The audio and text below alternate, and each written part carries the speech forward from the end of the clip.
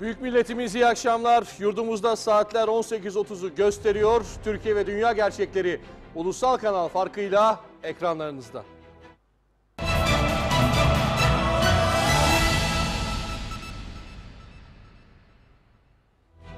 Valla yine elimdeki listeye bakıyorum. Çok sayıda haber var, önemli haberler var. Ee, günü özetlemek gerekirse ibadi geçti Ankara'dan Irak Başbakanı önemli şeyler, önemli gelişmeler var, önemli görüşme yapıldı. Ee, hem Cumhurbaşkanı hem Başbakanla görüştü ibadi. Bunun ayrıntılarını vereceğiz ve bu görüşmenin ayrıntılarını verirken aslında çıkan tabloyu da size özetlemeye çalışacağız. Hem Ankara'dan hem İstanbul'da stüdyoda canlı yayınla size çok önemli bilgiler vereceğimizi ümit ediyorum değerli izleyiciler. Ee, lütfen izleyiniz. Yine aynı şekilde Barzani'nin geri adımı var bugün. Önemli bir başka gelişme. İdlib'deki operasyonla ilgili ayrıntılar yine günün öne çıkan başlıklarından bir tanesi. Ee, Türk Silahlı Kuvvetleri'nin e, PKK ile mücadelesi devam ediyor. FETÖ yargılamaları devam ediyor. Gün oldukça yoğun. Bunları hepsini size aktaracağız. Bu arada sizi güzel e, bir köye de götüreceğiz. Tahtacılara değerli izleyiciler. Uzundere tahtacılara gideceğiz. Çok güzel görüntüler onları da size aktaracağız. Meral Akşener de bugün partisini e, açıkladı. Partisiyle ilgili ilk toplantısını yaptı. İsmini vesaire açıkladı. E, bununla ilgili haberimizde, bültenimizde yer alacak. Bütün bu gelişmeleri aktaracağız ama önce bir Ankara'ya döneceğiz değerli izleyiciler.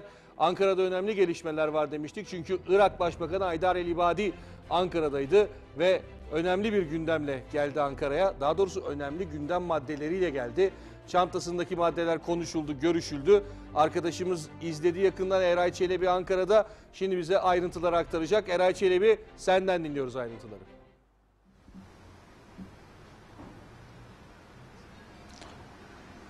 Irak Başbakanı Haydar El İbadi'nin Türkiye ziyaretinin ardından gerçekten de Ankara Bağdat ilişkilerinde buzların tamamen eridiğini söyleyebiliriz Teoman Ali. Ankara-Tahran ortaklığının ardından özellikle Başika kriziyle tırmanan Ankara-Bağdat ilişkilerinde gerçekten de bahar havası esiyor. Bugün hem bölgede askeri hareketlilik vardı hem de PKK konusunda gerçekten çok önemli mesajlar ver- verildi. Özellikle Erdoğan İbadi zirvesinin ardından bu mesajları gördük.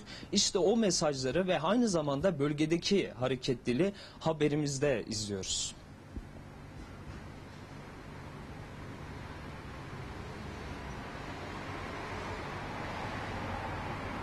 Kritik kapıya bayrak dikildi. Amerika ve Barzani'nin planları bozguna uğratıldı. referandum kararına yönelik tabii üzüntümüz ortadaydı ve buna karşı olan tavrımızın değişmediğini tekrar ifade ettik. Irak ve Türkiye bölüme referandumunu yapan Erbil'e darbe üstüne darbe vuruyor. Bazı uyarılara rağmen herhangi bir olumlu gelişme olmayınca da bazı yaptırım kararlarını almak durumunda kaldık. كما تحدثنا طرحنا مشروع هذا المشروع هو يحقق الاستقرار في المنطقة ويستبدل الصراعات Peşmerge önce Kerkük'te bozguna uğratılmıştı. Önemli petrol sahalarıyla kentleri Irak ordusu kontrol altına almıştı. Irak ordusu Türkiye sınırına doğru ilerlerken Barzani'den Kerkük'ün ardından bir geri adım daha geldi. Referandumu dondurduk. Irak ordusu geri çekilsin dedi Barzani. Ancak bu çağrıya rağmen Irak ordusu Peşmerge kontrolündeki sınır kapılarına doğru hareket etmeye devam etti. Ve beklenen haber Irak Başbakanı Haydar İbadi'nin ziyareti öncesi geldi. Ulusal kanalın edindiği bilgiye göre Irak-Suriye sınırını birbirine bağlayan Faysabur sınır kapısına Irak ordusu bayrak dikti. Bu operasyon oldukça kritik. Zira Amerika sınır kapısı üzerinden PKK ve PYD'ye silah sevkiyatı yapıyordu. her terörist için bir tır silah gönderdikleri yalanına bizi inandırmaya çalışacak kadar da pişkince bir tavır içindeler. Ankara'nın tepki gösterdiği bu tırlar Amerika yeni bir güzergah belirleyemezse artık PKK-PYD bölgesine gidemeyecek. Bağdat'ın bu hamlesinin ardından Irak Başbakanı Haydar İbadi Ankara'ya geldi. Önce Gümrük ve Ticaret Bakanı Bülent Tüfekçi tarafından karşılandı konuk başbakan. Ardından Cumhurbaşkanlığı Külliyesi'nde Cumhurbaşkanı Tayyip Erdoğan'la görüştü. Zirvenin ardındansa iki lider kameraların karşısına geçti. PKK denetimindeki Sincar ve Kandil'e yönelik Bağdat'a çağrı yaptı Erdoğan. Kandil gibi, Sincar gibi bu bölgelerde PKK'nın bir varlığı söz konusu. Ve bütün buralarda da bizler her türlü dayanışma içerisinde ortak mücadeleyi sürdürmeye Türkiye olarak varız. الشباب الذي الذين دفعهم البعض باتجاه التطرف وباتجاه الإر- الارهاب وباتجاه حمل الفكر هذا الفكر الذي يطعن في الاخر ويكفر الاخر. Kritik temaslarda Faysabur dışında Habur sınır kapısındaki gelişmeler de ele alındı. Ulusal kanal bir süre önce Bağdat'tan Şırnak'a Iraklı gümrük memurlarının geldiğini ortaya çıkarmıştı. Gümrük memurları Habur'un karşısında Irak tarafında bulunan İbrahim Halili sınır kapısını kontrol altına alacak. Bu başlık da görüşmelerde ele alındı. Habur alternatif Ovaköy sınır kapısında gelinen nokta da kritik zirvenin başlıkları arasındaydı. Kara noktasındaki kapılarla ilgili olarak da görüşmeler zaten karşılıklı olarak devam ediyor. Irak Başbakanı Ankara'ya gelmeden hemen önce Kerkük-Ceyhan petrol boru hattından Türkiye'ye yeniden petrol ihraç etmek istediklerini söylemişti. Ankara bu konuda olumlu mesajlar verdi. Petrol boru hattının da çalıştırılması noktasında her türlü desteği vermeye hazırız. Şimdi değerli izleyiciler çok önemli gelişmeler yaşanıyor. Özellikle e, herhalde bu ikinci İsrail girişiminin yavaş yavaş e, ne diyelim e, Batı Asya topraklarına gömülmesi sürecine giderken karşı hamleler başladı. Mehmet Kıvanç bizimle haber müdürümüz. Gelişmeleri yakından takip ettik gün boyunca. Önemli ayrıntılar, bilgiler var galiba sizde. Hemen alalım. Evet Teoman yeni bir dönem e, başlıyor. Öncelikle bunun niye anlaşılması gerekiyor e, Türkiye'de. Şimdi haritada da anlatacağım ama şunu hemen e, belirtelim. E, Başbakan e, Türkiye'den Bağdat'a gidecekti. E, fakat bu olmadı. Bağdat'tan Türkiye'ye ziyaret gerçekleşti. Orada bir soru işareti oluşmuştu. Acaba bir sorun mu var, bir problem mi var, Başika ile ilgili vesaire. Ancak bunun böyle olmadı. E, bizim de diplomatik kaynaklardan edindiğimiz bilgiyle e, sabitlenmiş durumda. Tamamen diplomatik teamüllerle alakalı bir durum, bir pozisyon var. Çünkü bu ziyaretten önce Türkiye'den birçok heyet e, Bağdat'a gitmişti, Irak'a gitmişti. Yani e, bu e, diplomatik dilde bunun anlamı şu, sıra Bağdat'taydı, onların gelmesi gerekiyordu. Böyle küçük bir düzeltme ve ayarlama e, nedeniyle bu ziyaret bu şekilde gerçekleşti. İbade'nin buraya gelmeden önce uğradığı Mısır'a da ayrıca dikkat çekelim. Önümüzdeki günlerde Türkiye-Mısır ilişkilerine de bir işaret bırakalım. Ama şimdi ben müsaadenle hemen şuraya geçmek istiyorum. Biz bu e, haberleri bugün hazırlarken kritik bir e, gelişme yaşandı. O da neydi? Son 24 saat içerisinde hemen şurada Fish Harbor diye bir nokta var. Gösterdiğim nokta. İşte orası o bölge çok kritik. E, Teoman neden? Çünkü Ceyhan'a giden bir, şurada da Ceyhan görüyoruz. Ceyhan'a giden bir petrol boru hattı var. Yani bu ne? Bu Barzani'nin, daha doğrusu Barzani demeyelim de biz ona ikinci İsrail'in can damarı beslendiği bölge, beslendiği hat. Ve şimdi ne yapıyor? Irak ordusu oraya bayrak dikiyor. Bugünkü sıcak gelişme tam da ziyaret öncesi bunun gerçekleşmesi. Yani şu bölge. Bunun diğer adı bölgenin adı Fişhabur ama buradaki sınır kapısının adı Teoman Semelka sınır kapısı. Bunun da hatırlatmasını yapacağız. İşte bu nokta birincisi petrol boru hattı geçiyor enerjisini ve ekonomisini kesiyor. İkinci kritik nokta hatırlayın Rakka'da nasıl görüntüler çıkmıştı Suriye'de? Kocaman Apo posterleri sözde bir zafer ama aslında Amerika'nın yıktığı bir kent. Oradaki o resmin oluşmasının da en önemli nedenlerinden birisi bu kapıyı Barzani'nin tutmasıydı. Peki neden? Florida'dan yani okyanusun ötesinden kalkan Amerikan marinleri, gemicileri nereye geliyordu Teoman? Önce Körfez'e, Katar'a geliyordu. Peki Katar'dan nereye geliyordu bu gemiler? Amerikan silahları karayoluyla e, buraya geliyordu. Erbil'e geliyordu. Erbil'den nereye geliyordu? Yani o Amerika'nın tırları. Şimdi PKK'nın elindeki tırlar güzergahı açıklıyoruz.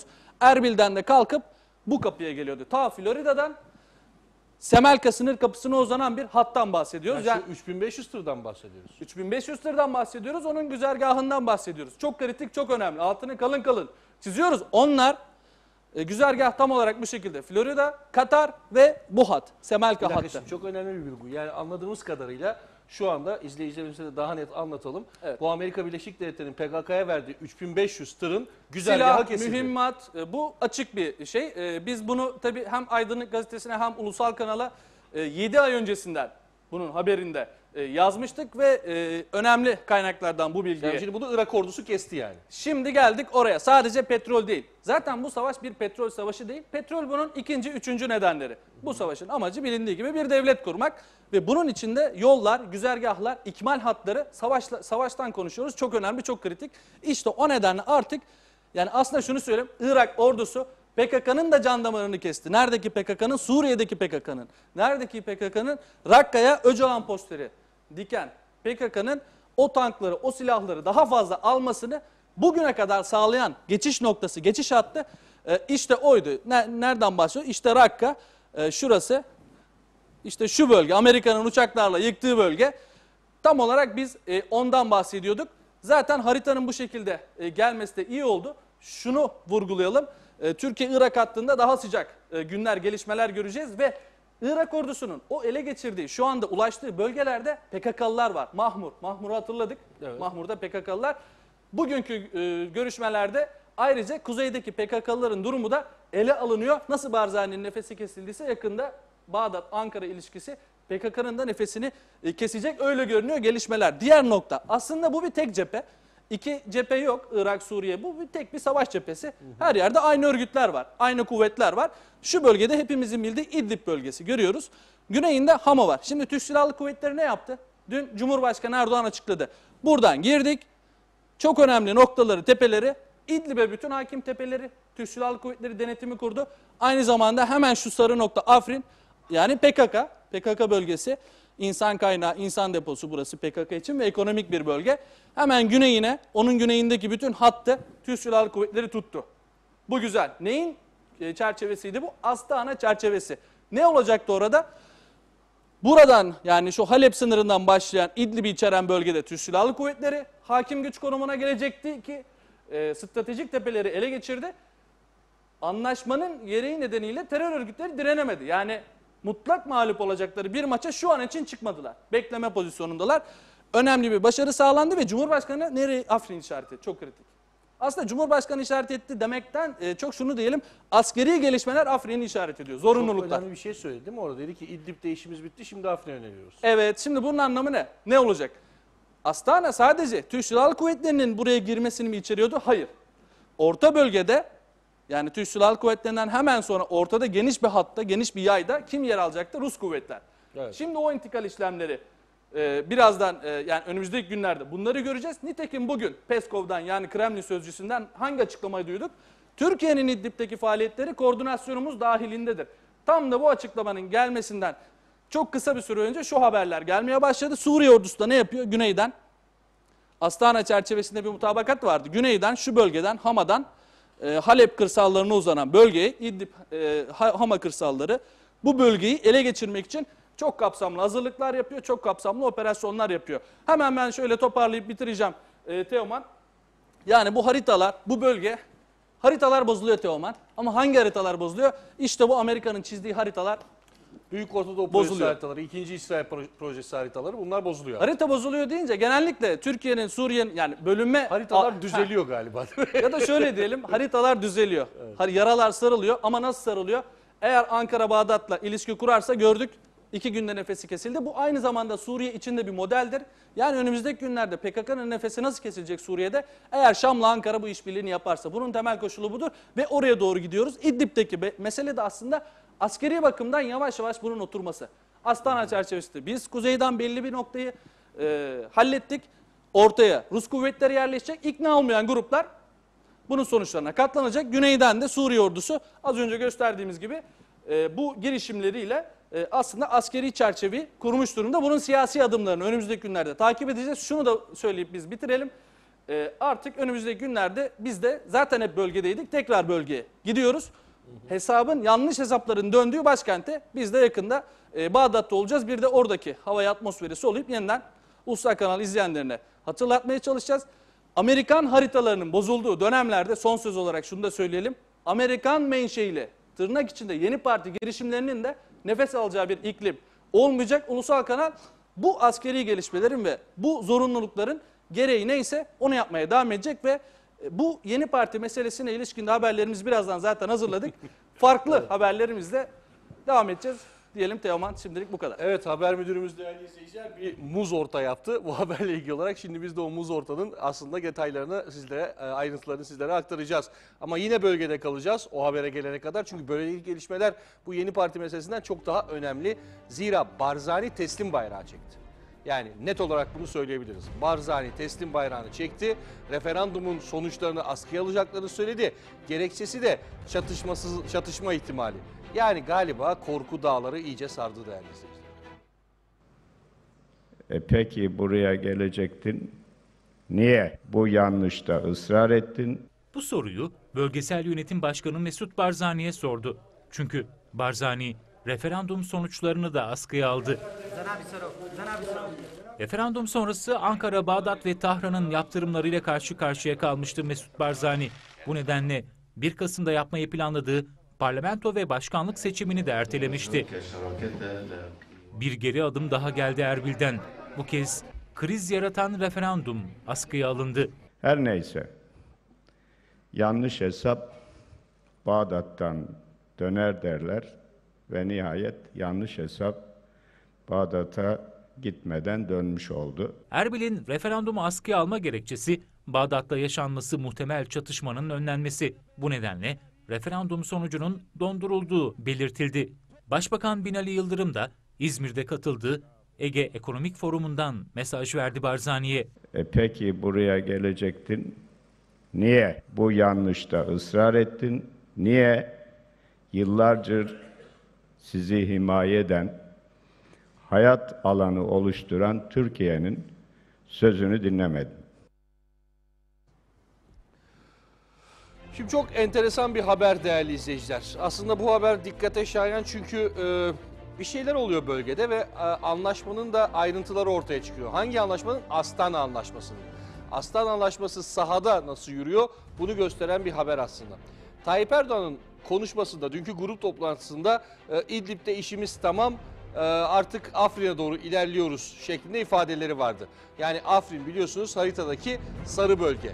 PKK'nın bulunduğu yer Suriye'de. İşte tam bu noktada e, Tayyip Erdoğan'ın bunu söylemiş olması yani Afrin'e yöneliyoruz e, cümlesini söylemiş olmasının e, içine kadar dolu diye tartışılıyordu. Bu tartışmalar yaşanırken yani Türk ordusu anladığımız kadarıyla namlularını e, Afrin'e doğru çevirmişken Suriye'den bir hamle geldi. Suriye değerli izleyiciler yavaş yavaş yukarı doğru çıkmaya başlıyor. Yani İdlib'e doğru çıkmaya başlıyor. Hama üzerinden çıkıyor. Rusya'dan yapılan açıklama da oldukça önemli. Biraz önce Mehmet Kıvanç da söyledi. Rusya'da dedi ki efendim koordineli yürüyor her şey. Yani eşgüdüm içinde yürüyor her şey. Nasıl yürüyor bu eşgüdüm? Haberimizde izliyoruz.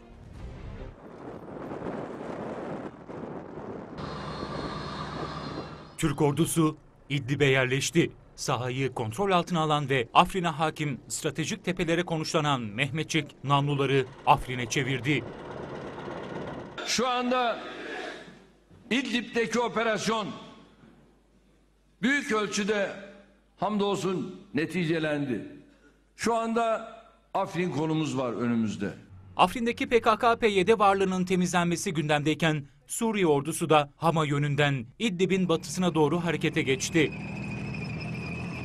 Suriye'ye yakın kaynaklar ordu güçlerinin İdlib'in batı kırsalını terör örgütü El Nusra'dan temizlemek için operasyon hazırlığında olduğu bilgisini paylaştı. Suriye ordusunun Hama'nın kuzeyinden İdlib'in batı kırsalına doğru ilerleyişi Hastane'deki çatışmasızlık bölgeleri mutabakatıyla da örtüşüyor. Zira Hama'nın kuzeyi Astana mutabakatında birinci çatışmasızlık bölgesi olarak belirlenmişti. Bu bölge ağırlıklı olarak terörist grupların elinde. Çatışmasızlık bölgelerine ilişkin Rusya'dan da bir açıklama geldi. Kremlin sözcüsü Dimitri Peskov, Türkiye'nin Astana sürecinin taraflarından biri olduğunu ve Suriye'deki eylemlerini Rusya ile koordine ettiğini söyledi. Ve Genelkurmay Başkanı Orgeneral Hulusi Akar değerli izleyiciler önemli bir hamle yaptı. Amerika Birleşik Devletleri'nde katıldığı bir toplantıda hani herkes diyordu ki diyordu ya Hulusi Akar Amerika'ya gitti vesaire falan niye gitti?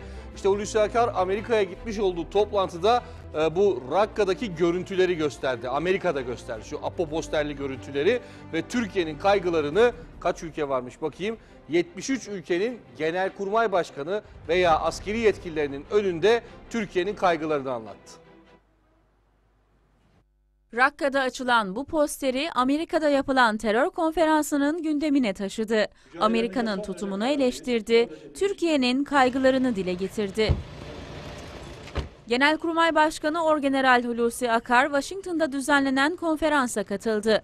Toplantıda 73 ülkenin genelkurmay başkanlarının yanı sıra NATO ve Avrupa Birliği temsilcileri de vardı. Akar, Amerika'nın askeri üslerinden Fort Belvoir'da yapılan konferansa PKK ve PYD'nin Suriye'nin kuzeyindeki faaliyetlerini ve Türkiye'nin bu konudaki öneri ve pozisyonunu aktardı. PKK lideri Abdullah Öcalan'ın posterinin Rakka Meydanı'na asılması konusunda Türkiye'nin kaygılarını dile getiren Orgeneral Akar, Amerikalı ve diğer muhataplarına PKK'nın farklı isimler kullanarak Türkiye'nin güneyinde bir terör koridoru oluşturmak istediğini belirtti. Akar, Türkiye'nin buna izin vermeyeceğini dile getirdi. Akar ayrıca Amerika'nın ve bazı Batı ülkelerinin PKK'ya yaptığı yardımları da gündeme getirdi. Muhataplarına yardımların kesilmesi çağrısında bulundu. Örgütün Membiç'ten çekileceğine dair verilen sözleri hatırlattı. Ancak örgütün bu bölgede halen varlığını sürdürdüğünü anlattı. Rakka'da çekilen fotoğrafa ilişkin Amerika'dan da açıklama geldi. Amerika Genelkurmay Başkanı Orgeneral Joseph Dunford, PKK'yı terör örgütü olarak kınıyoruz. Türk müttefiklerimizin yanındayız ve onların PKK ile ilgili tanımlarını paylaşıyoruz dedi.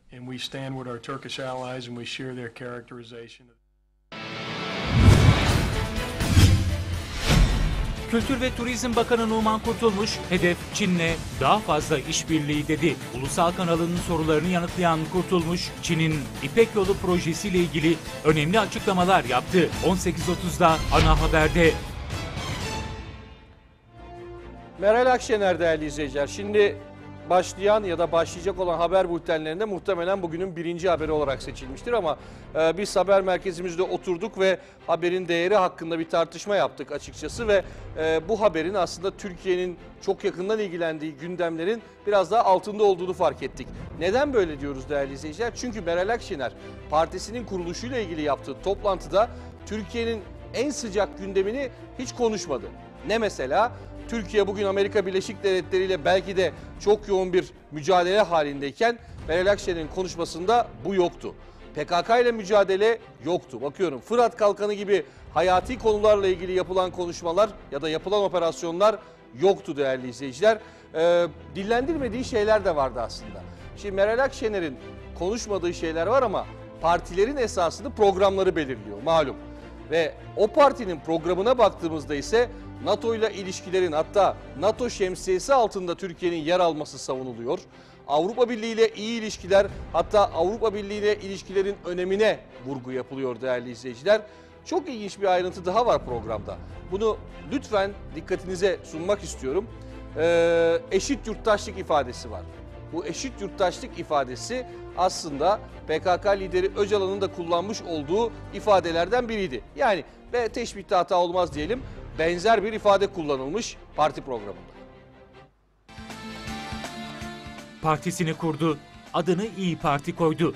Kurucuları salona topladı, Cumhurbaşkanı adaylığını açıkladı. Koray Bey ilk önce söyledi Ümit Hoca ile ikisi onlar beniyle Cumhurbaşkanı olmamı istiyorlar. Akşener İçişleri Bakanlığı'na dilekçe verdikten sonra Nazım Hikmet Kültür Merkezi'nde konuşma yaptı. Yaklaşık bir saat süren konuşmada ne Amerika ile ilişkiler, ne PKK sorunu, ne Kerkük, ne Fırat Kalkanı vardı. Umutlarımız var. Hayallerimiz var. Dış politikada da iktidarı hedef aldı Akşener. Türkiye merkezi bir Avrupa ülkesidir diyerek Batı'ya da göz kırptı. Akşener konuşmasında söylediklerinden çok söylemedikleriyle dikkat çekti. Onun söylemedikleri de parti programıyla ortaya çıktı.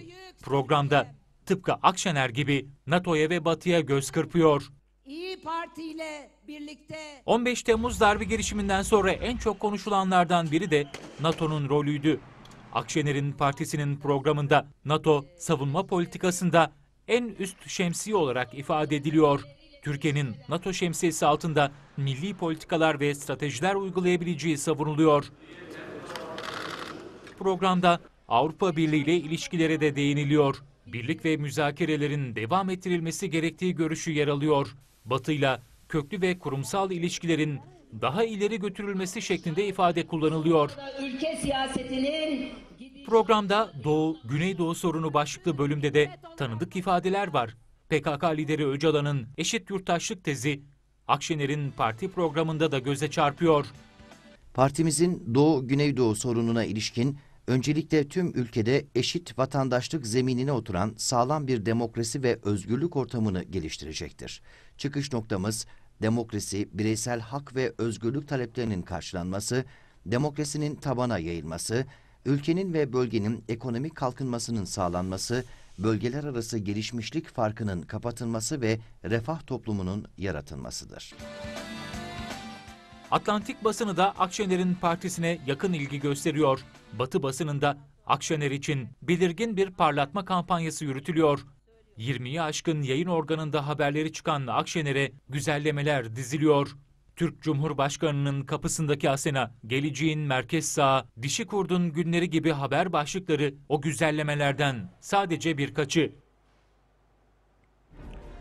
Türkiye Cumhuriyeti'ni kuran Türkiye halkına Türk milleti denir. Yani eşitlik zaten bu cümleyle sağlanmış Mustafa Kemal'in sözüyle vaktiyle sanırım. Hala şimdi neden vurgu yapılır bunlara vesaire bunlar soru işareti. Neyse Vatan Partisi Genel Başkanı Doğu Perinçek değerli izleyiciler açıklamalar yaptı. Ee, Vatan Partisi lideri Meral Akşener'in kurduğu partinin perde arkasına ilişkindi yaptığı açıklamalar ve küresel sermaye tarafından desteklendiğini söyledi Akşener'in ve partiye katılanların da pişman olacağını belirtti Vatan Partisi. Meral Akşener küresel sermayenin kurduğu ve desteklediği parti. Açık ve net konuştu. Meral Akşener'in partisini küresel sermaye destekliyor dedi. Küresel sermaye Meral Akşener'in partisini her araçla destekliyor. Her araç. Vatan Partisi lideri Doğu Perinçek, ulusal kanalda yayınlanan Çıkış Yolu programında bu değerlendirmeleri yaptı. Batı Batı'nın küresel güçlerinin Türkiye'deki projesi kapsamında kurulan bir partidir. Göreceğiz bunu bütün boyutlarıyla. Yayınladıkları program taslağı baştan sona Amerikancı. Türkiye'de Amerikancılık bitti. Bakın Türkiye'de Amerikancılık bitti. Amerikancı parti kalmadı. Ha bir CHP var. O da e, onun üzerinden iktidara yürüme şansı yok Amerika'nın. Perinçek, Tayyip Erdoğan'ın Türkiye cephesine geçmesiyle Amerika'nın iktidar şansını kaybettiğini belirtti. Kılıçdaroğlu'yla da iktidar olamazlar diyen Perinçek, Akşener'in partisi içinde çaresizlik yorumunu yaptı. Çaresizlik, Amerika'nın çaresizlikleri.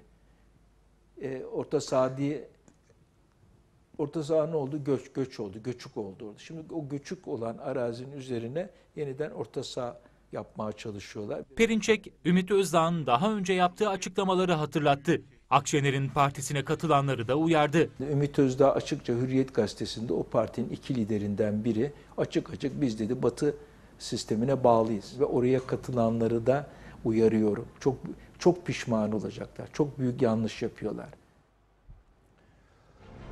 Evet durum böyle. Bakalım neler yaşanacak değerli izleyiciler. Şimdi Balıkesir Belediye Başkanı'nın istifası tartışma konusuydu.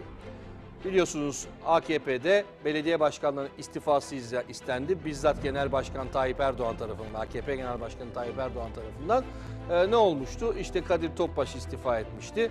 Ee, Melih Gökçek'in istifa tarihi belli oldu. Bursa Belediye Başkanı e, Recep Bey istifa etti. Ee, bütün bu istifalar gerçekleşti. Şimdi de Balıkesir Belediye Başkanı'nın istifa edip etmeyeceği tartışılıyor. Hükümet kaynakları, hükümete yakın kaynaklar pazartesi günü istifanın verileceğini söylemişlerdi. Yani ne zaman? 30 Ekim pazartesi günü.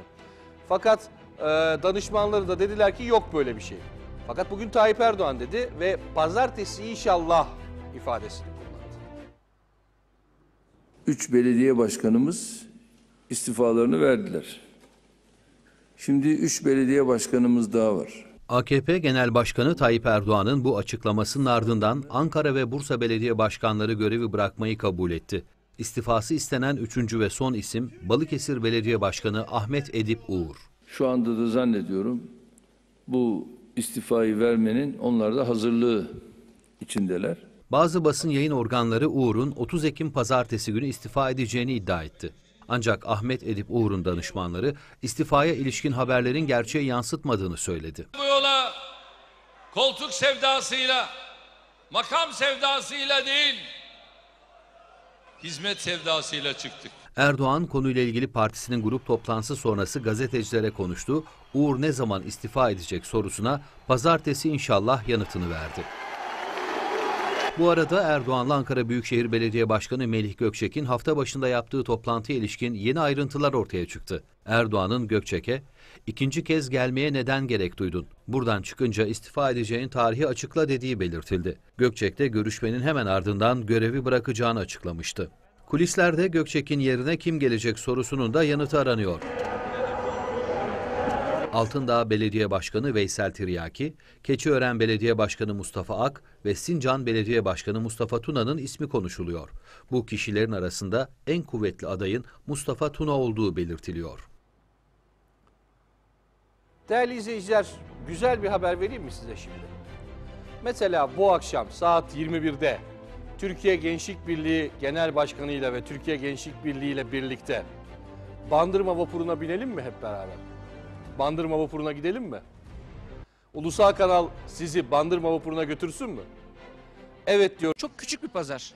Evet. Ee, Gelen giden az olur, işte az olur diye düşünüyorum. Allah bin bereket versin. Çok gelenler oluyor ya. Çok gelenimiz var. Ben geçen sene bundan hemen hemen 50 tane falan sattım yani. İşler nasıl gidiyor peki? Memnun musunuz? E memnun bak. Herkes geliyor. Onlar tahtacılar. Pazara geleceğimizi duyan üç kadın evlenirken giydikleri geleneksel kıyafetleriyle karşıladı bizi. Yaşam tarzlarındaki derinlikleri anlattılar ulusal kanala. İzmir'in ortasında böyle sizi bu kıyafetlerle görmek bizi şaşırttı açıkçası. Bizim e, geleneksel kıyafetimiz zaten bu. Yıllardır e, süre gelen bir kıyafet. Ta atalarımızdan kalan. Adı ne peki bu kıyafetin? Değre. Bu morun, bu pembenin, mavinin anlamı var mı? Nedir? Yani biz gelin olduğumuz zaman ilk giydiğimiz bunları gelin olduğumuz zaman giyiyoruz.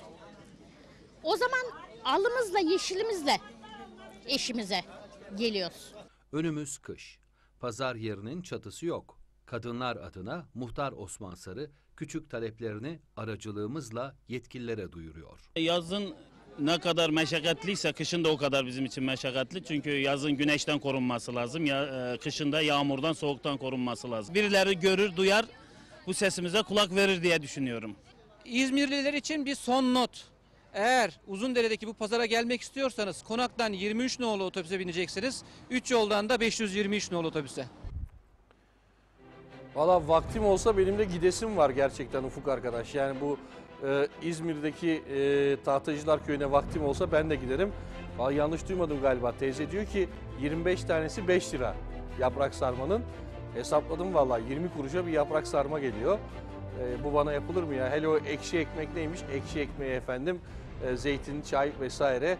Vakti olan gitsin gerçekten. Herhalde çok güzel anılarla dönecektir bu e, Tahtacı Köyü'nden. Herkesin yüzü gülüyordu gördük.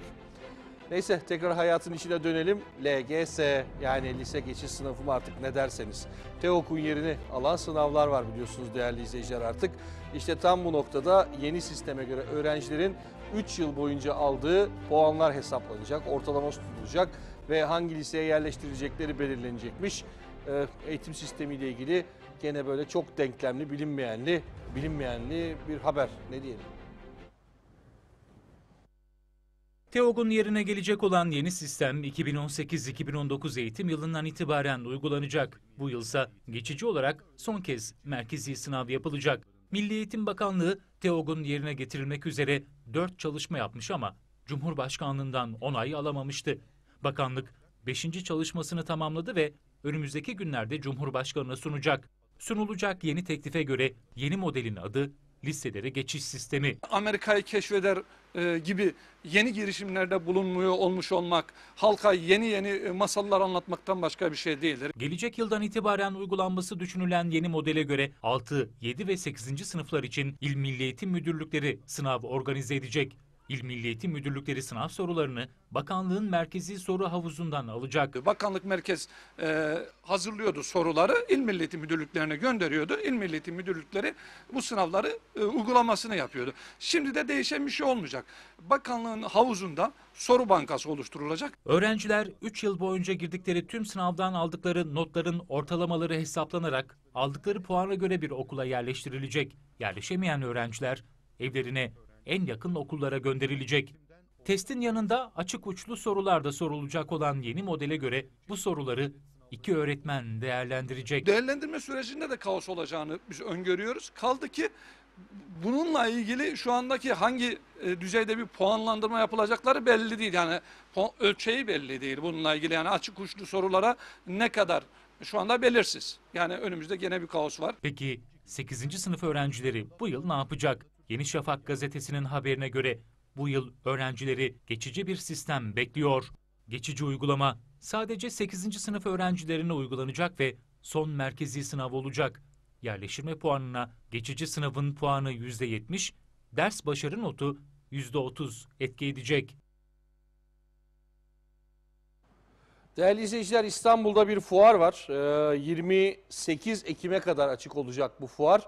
Ee, ve bu fuarda İran e, genel ürünleri tanıtılacak. İran'la Türkiye arasındaki e, biliyorsunuz bu sıcaklık son zamanlardaki sıcaklık fuarlara da yansıdı. Ee, İstanbul'daki fuara katıldı İranlı şirketler ve Türkiye pazarına açılmak için faaliyetler yürütüyorlar. Ulusal Kanal fuarı yerinde izledi ve 28 Ekim'e kadar sürecek bu fuar. Türkiye ve İran ilişkilerindeki bağır havası ekonomiye de yansıyor. Ortak zeminde ticaret için adımlar atılıyor. İranlı şirketler İran Solo Exhibition fuarına geldi. Buradan Türkiye pazarına açılacaklar. İran ambargoları lehine çeviren bir ülke. Ambargolarla, ambargoların getirdiği şartlar göz önünde bulundurduğumuzda onlar milli motorlarını üretti. Her şeyi e, tazadı. Hamısı İran'ındı. İran'ındı. İran ambargoları lehine çeviren bir ülke. Gördüğünüz gibi kendi milli motorlarını ürettiler. presidency in, in, in United States. Şu an zor bir dönemden geçiyoruz. Ülkelerin çoğu İran'la iletişimi kesti. Ambargolar konusunda Amerika'nın tavrının değişeceğinden emin değiliz. Yine de biz kendimizi geliştirip ürünlerimizi yenileyeceğiz. Near future we, we can have a mutual cooperation. İran denince akla ilk gelen şeylerden biri de halı. Şimdi onların yanına geldik. Benim favorim bu söyleyeyim. Şimdi gidip halılarla ilgili biraz bilgi alalım isterseniz. Birçok model bulabilirsiniz. Türk halılarına göre İran halılarında daha yoğun ilmek atılıyor. Yaşa göre beğeni de değişiyor. Gençler arkamda gördüğünüz modellere daha çok rağbet ederken yaşlılar geleneksel motifleri beğeniyor. Son günlerde Türkiye ve İran arasında üst düzey temaslar yaşanıyor. Biliyorsunuz Cihangiri, İran Cumhurbaşkanı birinci yardımcısı Türkiye'ye Ankara'ya gelmişti. Binali Yıldırım'la bir görüşme yaptı. Bu görüşmede iki ülke arasında milli para mutabakat zaptı imzalandı. Bu fuarda da İranlı ve Türk iş adamları bir araya geliyor ve ticari ilişkileri görüşüyor. Eight passenger helicopter. Sabah 248 helikopteri, 8 yolcu kapasiteli bir helikopter. Bizim şirketimiz tarafından İran'da üretildi. Gezerken kadınların, hanımların dikkatini çekecek şeylere de rastladık. Bunlarla ilgili bilgi alalım. Merhabalar. Nasıl gidiyor fuar? İyi gidiyor elhamdülillah. Bugün Nedir birinci bunlar? günü. Bunlar et sanatlı. Buna e, hediyelik falan şeye koyabilirsiniz. Şurada bir şey gördüm. Terlikler var. Hangisi? Hanım terlikler. Bunlar da mı elle yapılıyor? Hepsi elle. Bizim Çok farklı terlikler. O elle yapılıyor. Bu biraz acıtır ama insanın ayağını ya. Güzel. Desen ki ya. Evet. Nasıl fuar güzel mi? Verim nasıl? tabii, tabii. İlk- Beklediğinizi alabildiniz mi? İlk sefer geliyoruz. Geliyoruz burada. İnşallah beklentimiz çok inşallah. Dostluğumuz devam etsin. Biz gelelim, onlar gelsin bize. Çok iyi inşallah bakalım. Allah'ın hayırlısıyla Teşekkür inşallah. ederim. Rica ederiz. Kolay gelsin. Hoşçakalın. Biz devam ediyoruz. Bakalım daha neler neler var. Merhaba. Kolay gelsin. Nasıl gidiyor fuar? Good. Bunlar da gayet güzel, renkli renkli. Burada tek tek, burada ilmek ilmek işleniyor.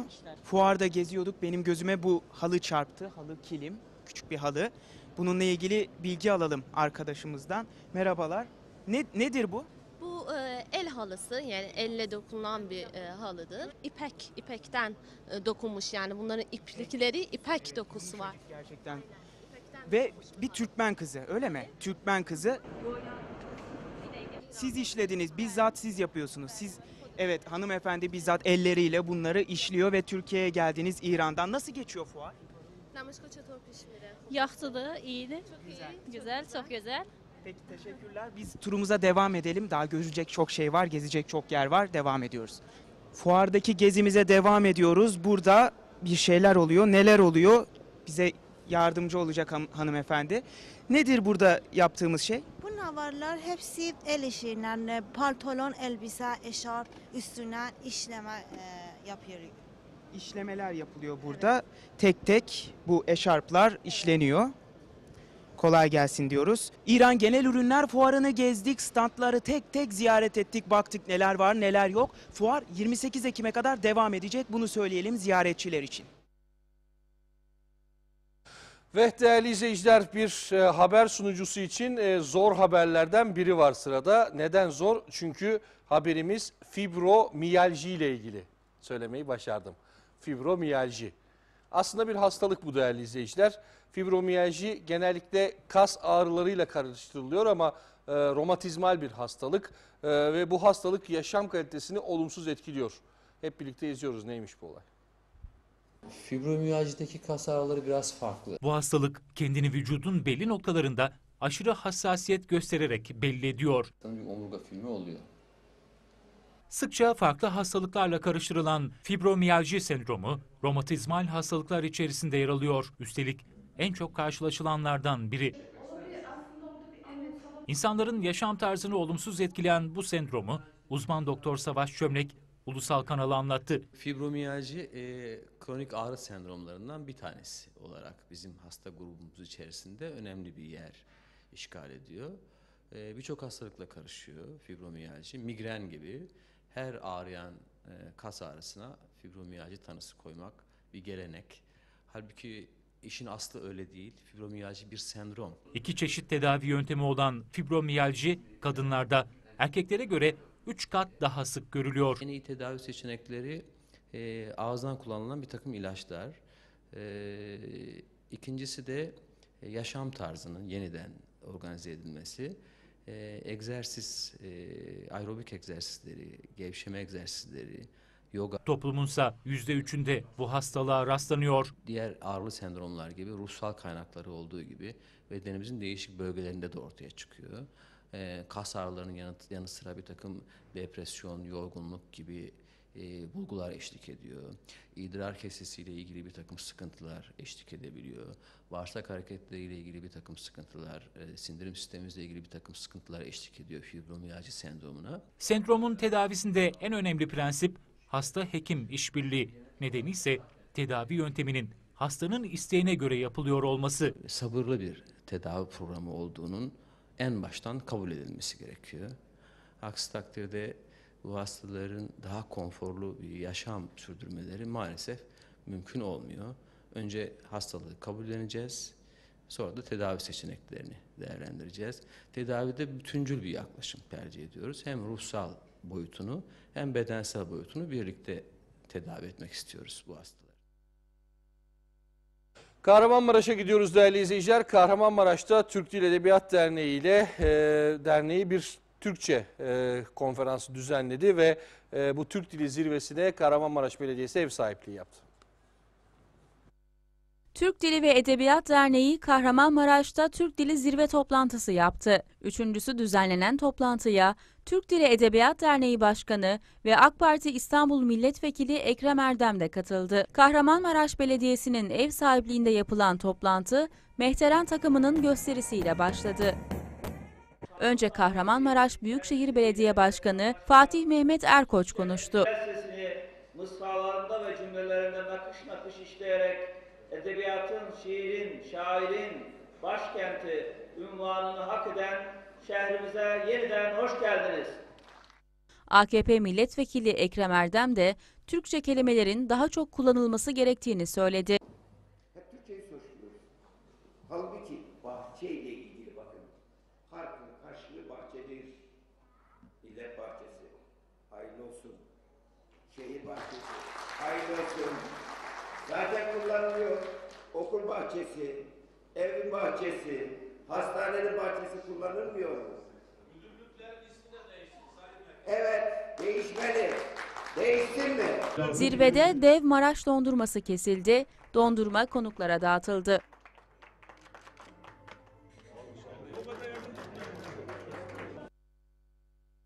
Geçtiğimiz günlerde üzücü bir haber vardı değerli izleyiciler. Elektrik gerilim hattına takılan kuşları kurtarmak isteyen Ramazan Taşdemir yüksek gerilim hattına kapılmıştı ve kollarını kaybetmişti. Şimdi tek umudu protez kollara kavuşmak izliyoruz. geri dönüşü olmayan kas nekrozu ve adele nekrozu meydana geldiği için hastamızın ampute edilmesine karar verilmiştir. 15 gün önce güvercini kurtarmak için çıktığı yüksek gerilim hattında akıma kapılan Ramazan Taşdemir'in iki kolu kesildi. En tepeye gittim kuşu kurtardım. Kuş uçtu gitti. Ben de tam inecektim. Direğin tam yani 5-6 adım gelince o zaman elektriği nasıl çektiğini biliyorum. Erzurum Bölge Eğitim Araştırma Hastanesi Yanık Ünitesi sorumlusu Öztürk, geri dönüşü olmayan hasarlar mevcuttu. Bu yüzden dirseklerine kadar iki kolunun kesilmesine karar verdik dedi. Yoksul ailenin şimdi tek isteği oğulları için protez kol.